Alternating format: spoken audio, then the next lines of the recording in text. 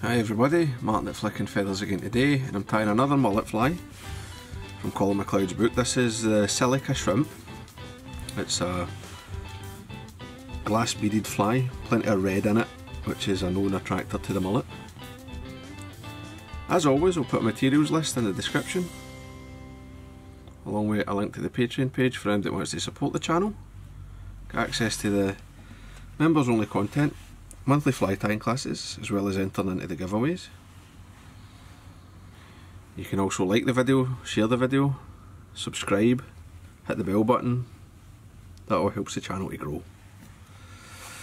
So I've got my hook and my vise and this is a B100G Kamasan, that's a size 12. I've got four glass beads on here, um, but depending on the size of your bead you might go five or six I think uh, Colin's got five in the picture in his book, but this is the size beads I have, and four fits just nice.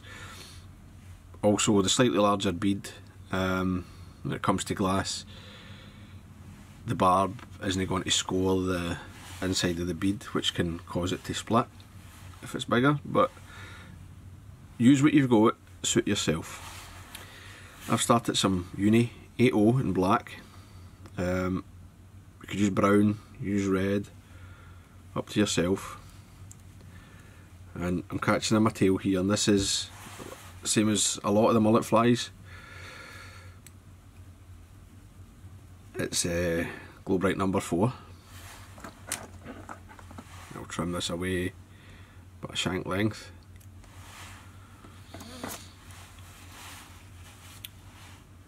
And then I'm ready for my body or I don't know what you'd call this it's so short um, which is peacock herl. I'm just going to take two strands and this is no eye herl, it's just ordinary from from further down the feather. Now in order to protect this a wee bit I'll twist it around the thread so the thread can kind of rib it. To build this wee?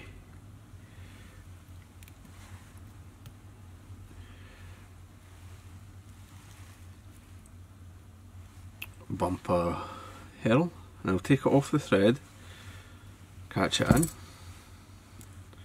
fold it back. And that's no bad there. I'll just red tighten, snap that away.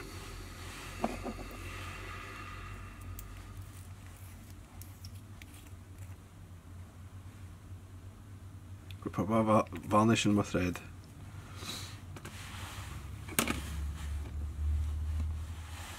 and hmm. come into the back of this bead. I don't want to get it on my herl. Then you'll still have a bit of play in the beads. Just the nature of having the multiple beads there. Time I whip finish into that wet varnish. And then I'll adjust these until I get them sitting how I like. You, you can turn them then when you're happy I like it quite often if I turn the hook upside down I get them to sit in a shape that I like they sort of they, they sit against each other better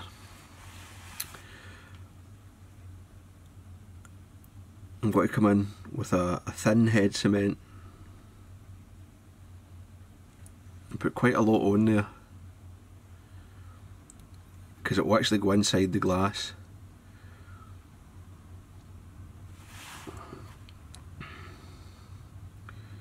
Try and get everything covered. And it looks like you're going to lose the shape of the beads, but you won't. The varnish or the head cement shrinks when it dries. But they'll all be gripped as a single piece, held in shape, um, and you'll be able to see perfectly. Like if I the one that I had in my vise, I've already done that. That's actually two coats. And you can see the individual beads quite clearly, the segmentation effect. Although I think it's more just the colour that really matters anyway. But there you go. It's a silica shrimp. Uh, tie them up. Hope they're useful. Hope you enjoyed the video. If you did, give me a thumbs up below. And I'll see you for another one. Take lines guys. Bye.